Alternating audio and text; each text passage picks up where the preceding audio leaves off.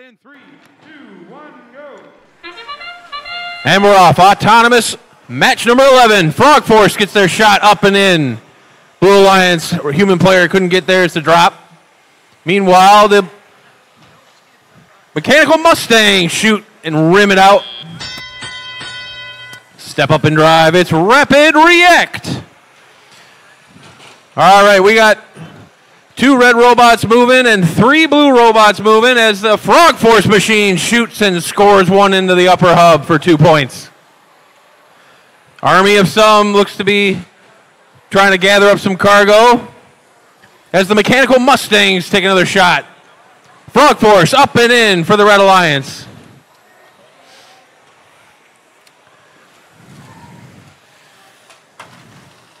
All right, mission control. They're trying to move around here on the red side, trying to defend, keep the cargo out from their opponents' intakes as the Tech Vikes shooting in the lower hub and score. Frog Force taking some deep shots up and in for the Red Alliance. There they go, zoop, zipping, zip, zipping around, hopping around on the Dematic field. Looks like they're getting some defense from Mission Control Robotics. The Frog Force machine shoots, gets one out of two on that one. Meanwhile, the Tech Vikes score another one in the lower hub. Red Alliance has reached their halfway point of that ranking point for cargo. Uh oh, looks like Frog Force has two cargoes jammed in their intake. There they go. They got it sorted out. Give it a little bang on the side of the field. Up and in for the Red Alliance.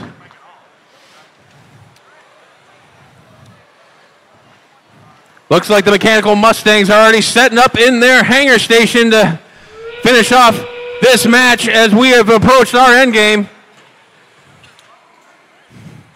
There goes the mechanical Mustangs up on the mid rung. Frog Force quickly leaps up onto their mid rung and they're going for the high one. There they go. Oh, we got a frog down here on the red side as the tech Vikes are up on the high rung. They're going traversal. We got three, two, one, and time expires on this exciting match number 11.